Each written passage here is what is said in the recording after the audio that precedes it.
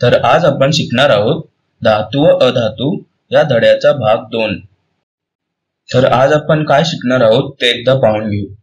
आपण शिकणार आहोत धातू व अधातूंचे रासायनिक वैशिष्ट्ये तसेच धातू व अधातूंचे रोजच्या जीवनातील काही उपयोगीही आपण पाहणार आहोत.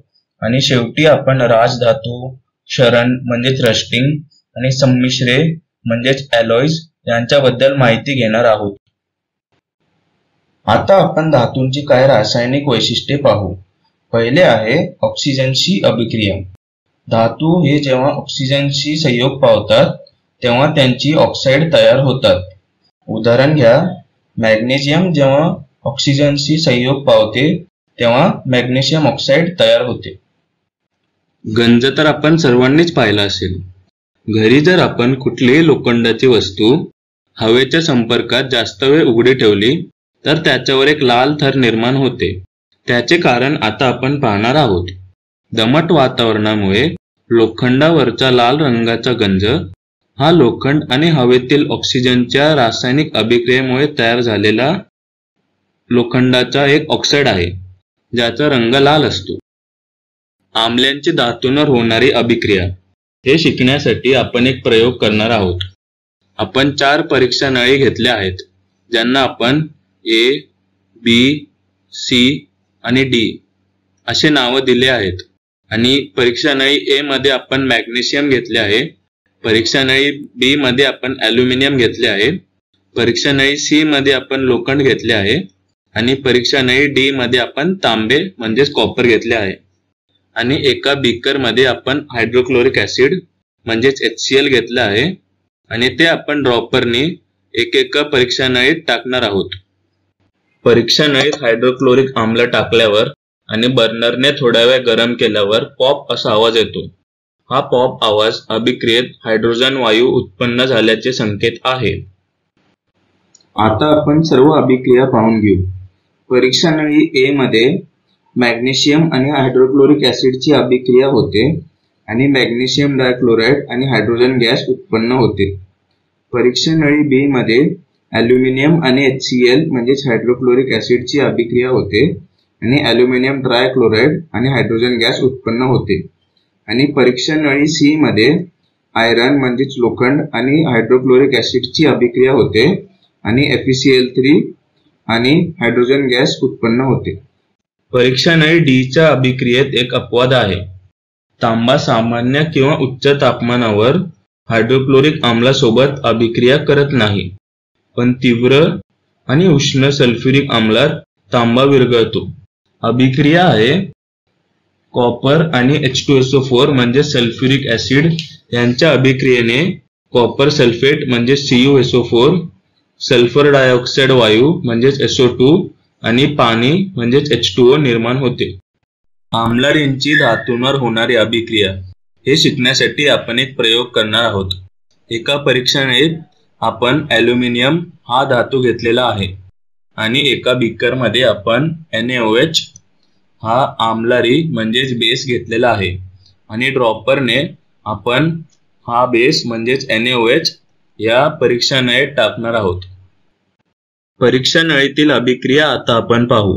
अभिक्रिया आहे ॲल्युमिनियम सोडियम हायड्रॉक्साईड म्हणजेच एच आणि पाणी म्हणजेच एच टू ओ यांच्या अभिक्रियेने टू म्हणजे सोडियम ॲल्युमिनेट आणि हायड्रोजन गॅस म्हणजेच हायड्रोजन वायू उत्पन्न होते. परत जळती काडी परीक्षा नळी जवळ नेल्यावर पॉपचा आवाज आल्यामुळे हायड्रोजन वायू उत्पन्न झाल्याचे आपल्याला कळते. आता आपण धातूंचे काही उपयोग पाहू. धातू हे भांडे व दागिने बनवण्यासाठी वापरले जातात. तसेच विजेच्या तारा उपकरणे यासाठी तांबा म्हणजेच कॉपर हा धातू वापरला जातो. आणि तापमानित म्हणजेच थर्मोमीटरमध्ये पारा म्हणजेच मर्क्युरी हा धातू वापरला जातो. आणि साधे मिठात सोडियम क्लोराईड असते. सोडियम हा एक धातू आहे. अधातूंचे काही उपयोग आपण पाहू. सौर विद्युत गटात सिलिकॉनचा वापर होतो. इथे जे सोलार पॅनल दिसत आहेत त्यात सिलिकॉन वापरले जाते. तसेच पेन्सिलच्या शिशेत ग्राफाईट असते. आणि आगपेटी फटाके यात लाल फॉस्फरस म्हणजेच रेड फॉस्फरस वापरले जाते. आता आपण राजधातू हे काय असतात ते एकदा पाहून घेऊ. पाणी वायू आम्ल उष्णता यांचा राजधातूंवर काही परिणाम होत नाही. आणि राजधातू हे सहसा रासायनिक अभिक्रियेत भागही घेत नाहीत. राजधातूंचे उदाहरण आहेत सोने आणि प्लॅटिनम आता आपण राजधातूंचे काही उपयोग पाहू. राजधातूंचा मुख्य वापर अलंकार म्हणजेच दागिने बनवण्यासाठी होतो. पूर्वी सोन्याची नाणे वापरत असत आणि काही वैद्यकीय उपकरणात प्लॅटिनमचा वापर होतो. सोन्याची शुद्धता आपण कॅरेटमध्ये मोजतो. चोवीस कॅरेट सोने म्हणजे शंभर टक्के शुद्ध सोने. आणि दागिने तयार करण्यासाठी आपण सहसा बावीस कॅरेट सोने वापरतो. क्षरण म्हणजेच रस्टिंग.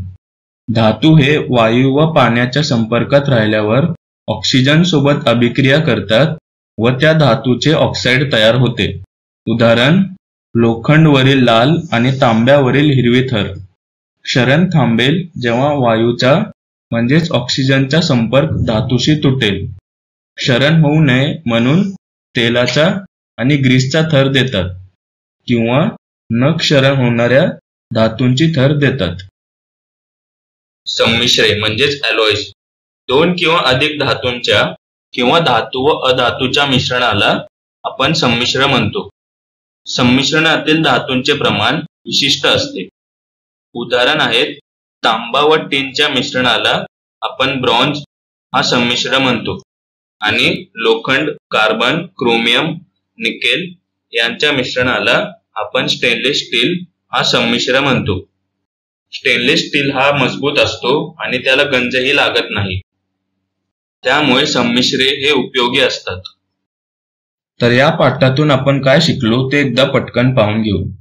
आपण शिकलो मूळद्रव्यांचे धातू व अधातू असे प्रकार आहेत. चकाकी तन्यता सुवाहकता वर्धनीयता हे धातूंचे काही गुणधर्म आहेत. अधातू हे सामान्यपणे ठिसूळ असतात आणि उष्णतेचे आणि विजेचे दुर्वाहक असतात. धातू हवेतील ऑक्सिजनशी संपर्क साधून ऑक्साईड बनवतात. धातूंवर आम्लाचा संपर्क झाल्यावर धातूंची संयुगे तयार होतात. सोने प्लॅटिनम यांच्यावर हवा पाणी इत्यादी गोष्टींचा परिणाम होत नाही. आणि ते सहसा रासायनिक अभिक्रियेत भागही घेत नाहीत. म्हणून त्यांना राजधातू असे म्हणतात. आणि धातू व अधातूंचे औद्योगिक व व्यावहारिक जीवनात असंख्य उपयोग आहेत. धन्यवाद.